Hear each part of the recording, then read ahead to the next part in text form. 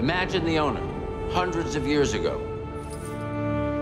He's coming home from a colony with his life savings.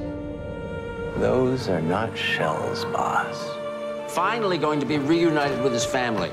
That is what we have brought back to life. Tengo que ver al ministro. Soy Alejandro Ventura. Tengo cita con el jefe.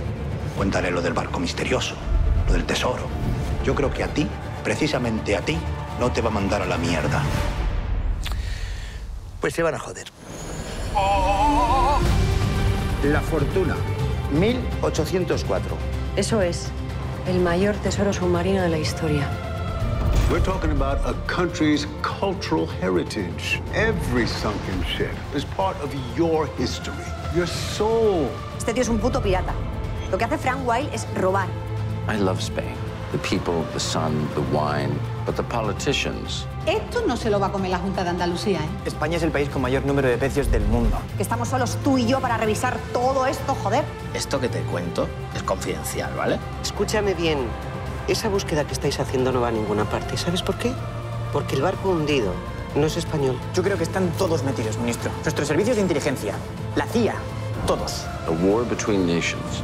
It's that type of battle. All or nothing. And if I may say so, those are the only battles worth fighting, right?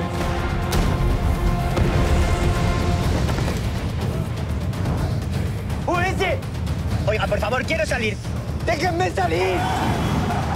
Watch out! Vamos allá. To the capital. This trial really isn't about them versus them. It's about us. What happened to concepts like respect, integrity, humility, honesty?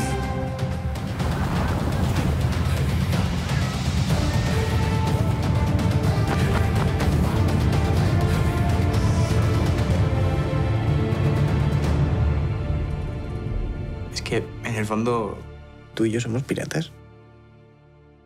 ¿No?